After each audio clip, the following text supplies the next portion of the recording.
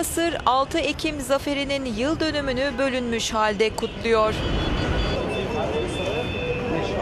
Başkent Kahire'nin ünlü Tahrir Meydanı çitler ve tanklarla güvenlik çemberine alınmış durumda. Geçici Cumhurbaşkanı Adli Mansur, orduya desteklerini göstermek için Mısır halkından tüm sokak ve meydanları doldurarak kutlamalara katılmalarını istedi.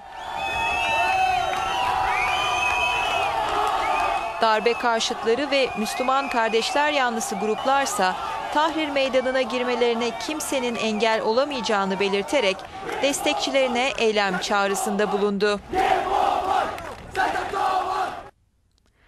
Alarm halinde olduklarını belirten Mısır Ulaştırma Bakanlığı, kutlamaları sabote edenlere karşı kararlılıkla mücadele edileceğini kaydetti.